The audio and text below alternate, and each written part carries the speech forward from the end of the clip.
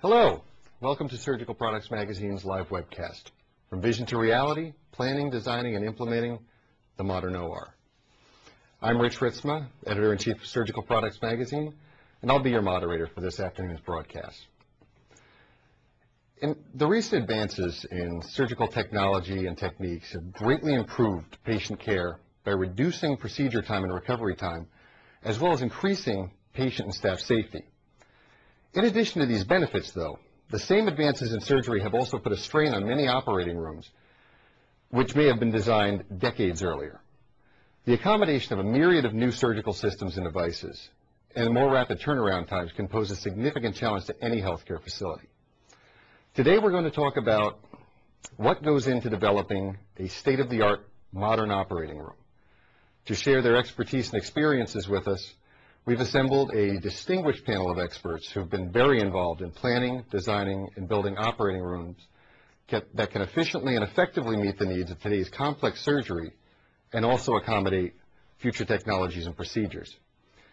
Seated next to me today are Harvey Kirk, architect and health planner with Steffian Bradley Architectures, Dr. Warren Sandberg, co-program leader of the CIMIT OR of the Future product at Massachusetts General Hospital, and Donna Doyle, administrative director, the Grant Revitalization Product at Grant Medical Center in Columbus, Ohio. It tells you actually is that half of the people watching this webcast right now are in a project. Uh, and if they're representative of the hospitals in the United States, that means basically half of the healthcare industry right now is expanding operating rooms and procedure areas. This is a very important activity in the next five to ten years. Every hospital in the United States, these these are certainly priorities, and, and that's actually some of the stuff that I'm going to be touching on today. Uh, before we begin the next presentation, we're going to take a look at our uh, third polling question. Um, for those involved in OR projects, which of the following equipment needs are you currently exploring? And you can check off as many of these as apply for this question. Uh, A, surgical tables. B, surgical lighting. C, equipment management systems and booms. D, audio and visual integration equipment. Or E, operating room fixtures such as cabinetry and stations. Uh, while we're tabulating these results, uh, we'll be hearing from our third speaker, Donna Doyle. As a nurse in the operating room for over 20 years, I've been involved in a lot of remodeling projects. But approximately three years ago, I was allowed the opportunity on a full-time basis to be involved in the design and the construction of a new surgical and heart hospital. Prior to that, as the operating room director in this facility, we had the chance to um, develop what we call uh, process excellence methodology or Six Sigma that was embraced by Ohio Health late in the 1990s. And as with most ORs, our ORs were built approximately in 1960s and last remodeled in the early 1980s. The processes that were in place for our patients going through the system was fraught with inefficiencies, and there were many frustrations among staff, physicians, and our patients most of all. And when I was invited to present today, one of the things I thought was, well, what does go into the development of a state-of-the-art OR? And as we talked about our processes and how broken they were, we thought we didn't want to move those to a brand new facility. So I thought it would be most appropriate to talk about how we do not build a brand new old OR suite. Some of the objectives today, I'd like to discuss the importance of grassroots involvement in the planning process, the importance of identifying our current and our future process flow states, and finally, the linkage between operational efficiency and quality. First thing we did was to identify the voice of the customer early on in the project. And we held focus groups with our patients and families. We held interviews with staff and physicians in trying to identify the wants and needs. And as we identified those wants and needs, we found that there was a real balance that had to take place between the reality of what our financial constraints were. In addition to that, we identified certain steps in the process, and those steps were either value added or non-value added. And between the two, the value added steps were ones that our customers told us they were willing to pay for. They were things that physically changed the end product, and they were things that they were done right the first and every time. The non-value added steps, conversely, were not essential. They did not add value to the process, and there were a lot of defects and reworks that resulted in delays.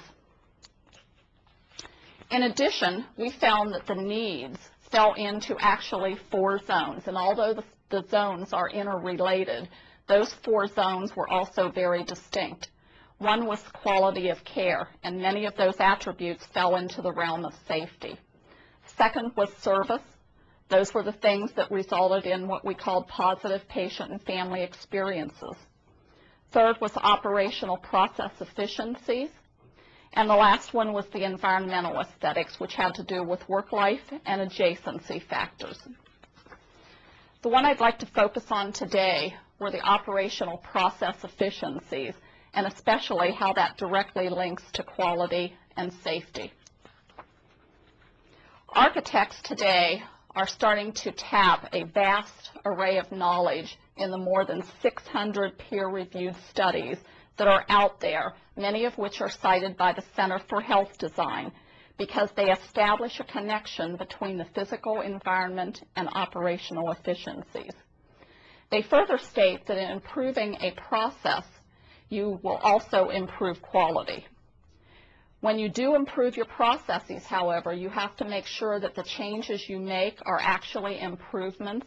So you need some metric to measure from and then determine that that change is indeed an improvement. And ultimately, you want to design your spaces that incorporate your process flow changes because your customers in the end will judge your quality as the outcome of the processes. When we look at the process flow, we look at um, diagrams of not only our present, but how we want our future state processes. And this is where we need to tap into our grassroots involvement. And it's our staff and our physicians who really bring to the table all the intricate um, processes that they go through on a day in and day out basis and where the rubber meets the road that we don't always think about. So this is intricately important. We need to do this not only for our patient flow processes, but also for equipment and supplies. And inherent across all of these processes is the fact that there are informational flows as well that cross each of these lines. As we go through, we then have to go back to what the customer told us and take those non-value added process that bring nothing to the table and make sure that we have eliminated them from the equation. As we do that, what we get is a quality product. If we don't, then we end up with a cost, and many times that cost is poor quality, especially as it relates to safety factors. There's a 110-100 rule that states that if you don't fix a problem the first time, then later on it's only going to be more costly in terms of time and money.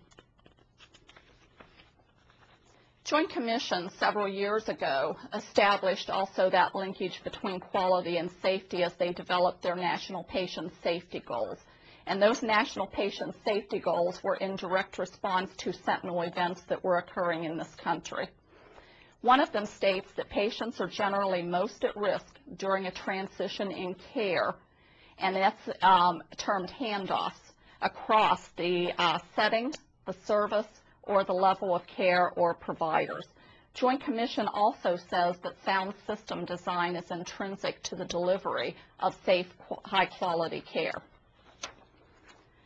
Another part of Six Sigma that's utilized is trying to standardize not only your processes, but standardize your environment as well.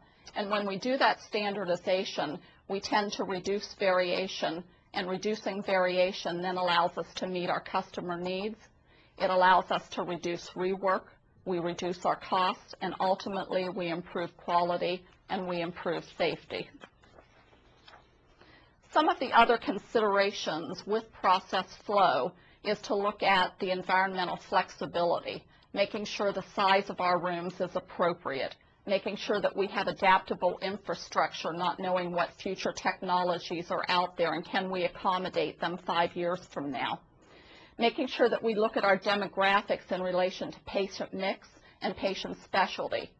Making sure that we're building in reserve capacity and thinking of tomorrow, especially as it relates to data, which is increasing more and more. We need to make sure that the spaces we're designing for the functions today are flexible and adaptable enough so that if a different function comes down the road tomorrow, we are ready for it. And increasingly, the lines between surgery and interventional procedures are blurring, and we need to take that into consideration as well as the safety inherent in standardized rooms. In the project I've been involved in, some of the lessons that we've learned is, is once we've done those process flow analysis and, and designed future states, you can't just put it on a shelf after your design and let it sit there. It needs to be dynamic and you need to revisit those flows often. Many times a project goes on for several years. People leave, new people come. You need to know why you made a change and what was the rationale for it. Communicate, communicate, communicate. It's very essential. And again, make sure that you have grassroots involvement in your flow and design. Your staff and your physicians are your greatest assets. Standardization promotes safety, and it's that culture of safety that promotes and drives your process flow analysis. Bottom line is everybody wants results, but you get what you expect and you deserve what you tolerate.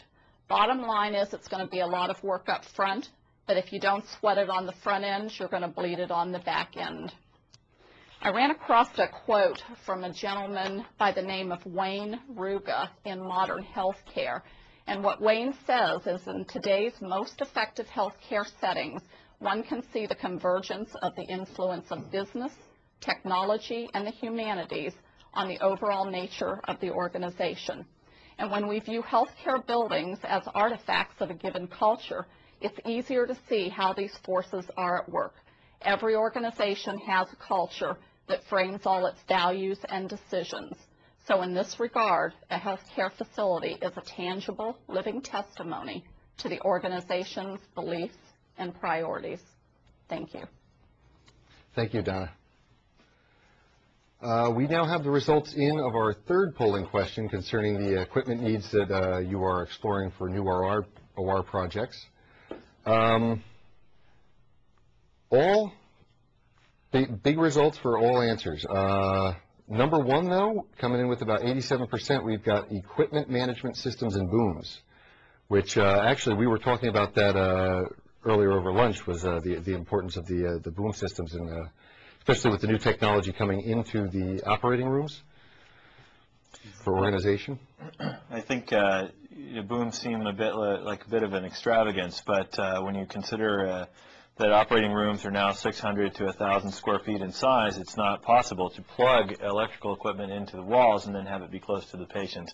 Unfortunately, that's all the time we have for questions. Uh, however, all questions, including those that we were unable to get to today, will be posted on our website along with the panelists' responses. Um, I would like to extend a sincere thank you to all of our panelists, uh, Harvey Kirk, Dr. Warren Sandberg, and Donna Doyle. We very much appreciate your taking the time to uh, come and speak with us this afternoon.